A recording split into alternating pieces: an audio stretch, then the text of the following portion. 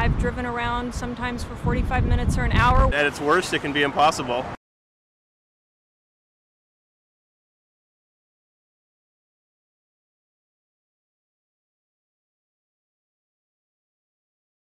What we have planned is to give people directions rather than an endpoint.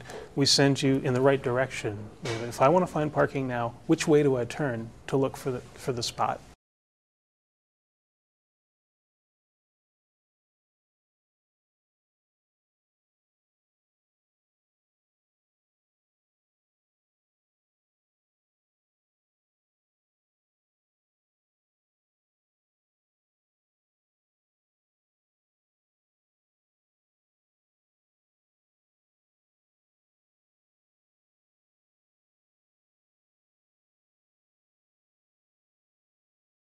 We created technology where someone can go ahead, enter their address, enter the time that they would like to park, and our site will find anything within a reasonable area that you can go ahead and book and reserve before you leave for your outing.